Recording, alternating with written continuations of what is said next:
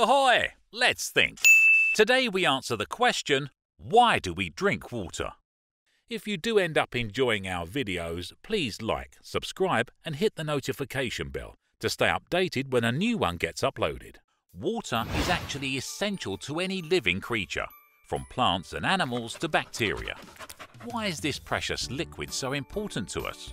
Like most living creatures, humans are mostly made of water. Up to 60% of an adult's body is made up of water. That's over a half. Our bodies need water to regulate their temperature and keep its functions alive and running. Even though water is extremely vital, the human body cannot automatically replenish it. Eventually, we need to get more water into our system by drinking. As we go on through our daily lives, we constantly lose some of our water content.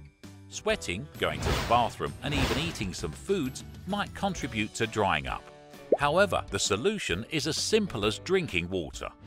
Many physicians and experts recommend that the average person should drink at least half a gallon 2 litres of water a day. There are other liquids that might have a hydrating effect due to their water content, including fruit juices. However, beverages such as alcoholic drinks and coffee are actually known as dehydrating substances, and you should be careful when drinking too much of these beverages, who might be harmful to health in the long run and without the proper intake. That's about 8 glasses of water throughout your day to day. If you don't drink enough water, you might suffer from something that's called dehydration. This can have a harmful impact on your body and on your mind, affecting your ability to focus, as well as giving you fever and even hallucinations in extreme cases. Like many other beings, we depend on water.